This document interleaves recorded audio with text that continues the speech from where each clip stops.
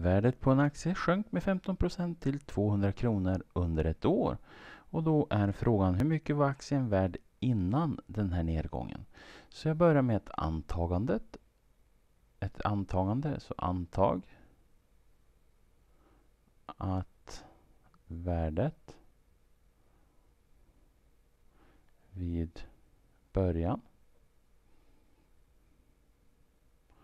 är x kronor. Sådär.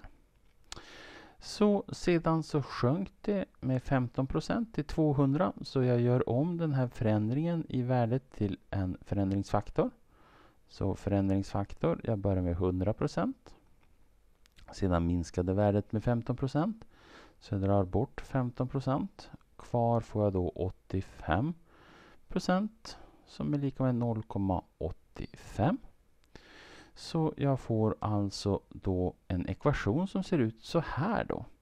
Jag har mitt värde från början. Sedan så multiplicerar jag det med 0,85.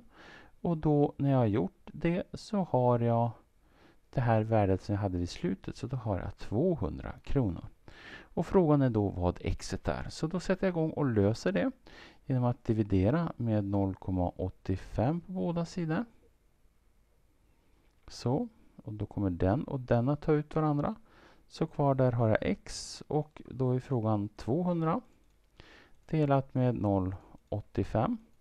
Det är lika med 235 och 30. Så då ska vi inte ha ett likhetstecken utan då får vi skriva ungefär lika med då. För att vi approximerar, vi avrundar. Så ungefär lika med 230 5 kronor. Jag låter det stå tre värdesiffror eftersom jag har, anser jag då, tre stycken värdesiffror här då vid 200 kronor. Så svar. Aktien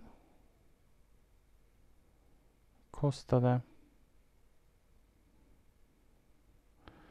235 kronor vid årets start. Så.